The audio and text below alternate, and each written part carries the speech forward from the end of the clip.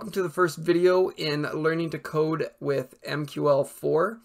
Um, this is going to have quite a few videos in this series. It's going to be an ongoing series on uh, creating scripts, custom indicators, EAs.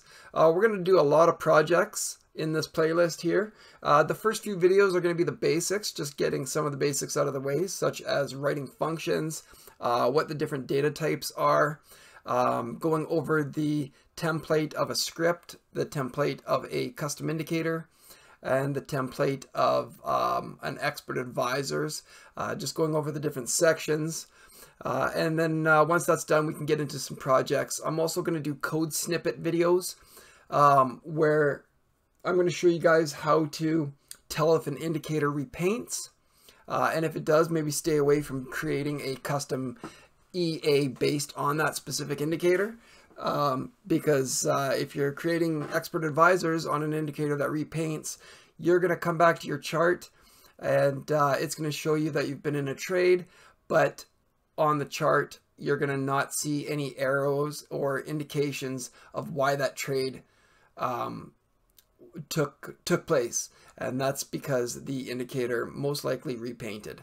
So uh, we'll go over that. It's a very helpful uh, function and that should be run anytime on any indicator that you're thinking about turning into an EA. So um, that'll be a really beneficial video. Um, some of the other stuff is going to be uh, running some scripts just to test the functionality of a function or a little code snippet that you're getting ready to write for a EA or custom indicator. Uh, so we'll go over that as well. And um, let's just go over an example here of a script. You can see that we commented up here, buy condition met. Uh, we also got an alert here that the buy condition was met. We can click OK. And then down below here, if we look in the experts tab, uh, you can see that the alerted a buy condition was met. So if we go over into the editor, uh, when you're in your MetaTrader platform, I'm assuming you've already got your Forex broker set up and uh, you have the platform um, open. To get into your editor, you can hit F4 or you can go up into the toolbar here and click on the MetaQuotes language editor right here. So we'll click on this and you can toggle back and forth from the um, editor to your actual platform just by hitting F4.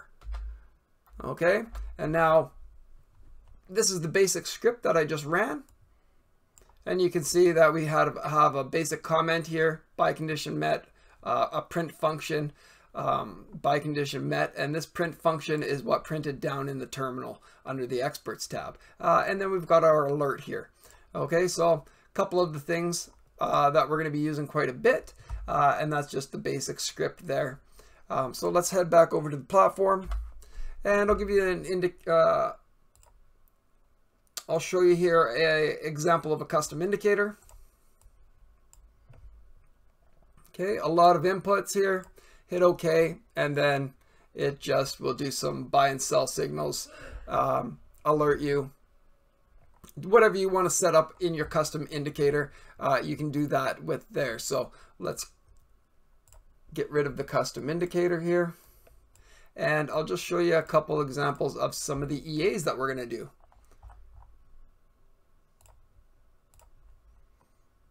Okay, let's look at the trade management.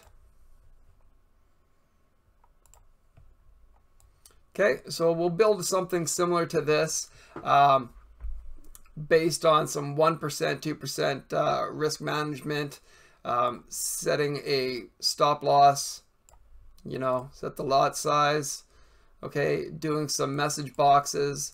Um, so we'll do some functionality like this. And uh, we'll also create some custom scanners. And uh, we're going to open this up on a new tab here.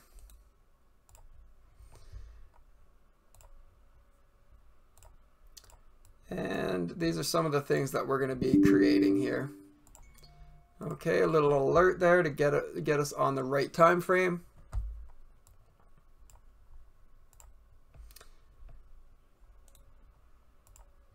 And we can get rid of this indicator that's just the blue bars there so some uh, one of the scanners that we're going to be creating here. Uh, we can turn off all these columns if we want. Uh, and then we've got the daily and the weekly. So we'll create something similar to this. You've got your menu bar.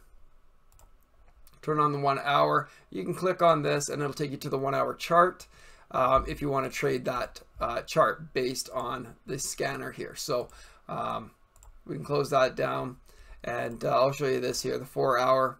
We can click on one of these and have a look. It'll take you over to the four hour So uh, we're going to create something similar. One of the bigger pod projects is going to be something like this. Uh, we're going to create a lot of um, EAs and uh,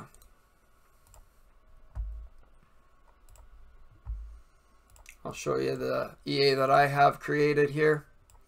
Um, we'll do some basic EAs to start and then we'll get into a little bit more complex EAs as well. So uh, also you guys can comment down below as I'm doing these videos and let me know if there's anything specific that you want to see, uh, maybe a functionality of uh, of something that you'd you'd like to be able to create yourself, but you needed uh, to see it in action, and uh, you want a tutorial based on that. So you guys can comment down below. Uh, let me know if there's anything specific that you want to see. And uh, if there is, I'll look at creating a video for it or little code snippets. Um, but I'll teach you guys how to take pictures, add images to the charts. Um, just some fun stuff that we'll do here over uh, the next while. It's going to be an ongoing um, tutorial series anyways, so uh, keep you guys posted and uh, I'll get busy on creating some of these videos.